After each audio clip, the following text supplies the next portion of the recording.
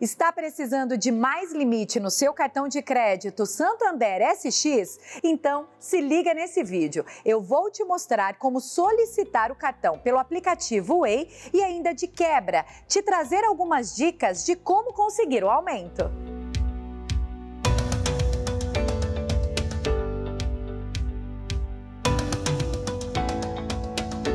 Antes, eu quero te pedir para já se inscrever no canal e ativar o sininho. Assim, você será notificado sempre que surgir um vídeo novo por aqui. Dito isso, vamos ao passo a passo. Ao acessar o Way, toque no menu e selecione a opção Limite. Nessa tela, vai constar o seu valor disponível atual. Ao tocar em solicitar mais limite, se você já tiver um limite pré-aprovado, basta tocar em contratar. Se não tiver, sem problemas.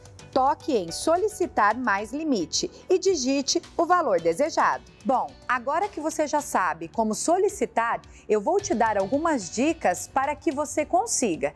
Afinal, aumento de limite tem muito a ver com o seu relacionamento com o banco. Então vamos lá pague o valor total da fatura até a data de vencimento. Pode parecer óbvio, mas se você pagar o mínimo ou parcelar a fatura, o banco vai entender que você está com dificuldades para fazer o pagamento. Aí fica difícil conseguir um aumento. Nesse mesmo sentido, mantenha seu CPF regular na Receita Federal sem nenhuma restrição. Atinja o valor mínimo de compras por fatura. No caso do SX, 100 reais. Explore bem o seu limite atual, mesmo que ele seja inferior ao que você deseja. Utilize o cartão de crédito e pague as faturas em dia. Assim, você vai conquistando a confiança da sua instituição financeira. É isso, pessoal. Eu espero ter descomplicado o assunto para vocês. Até a próxima!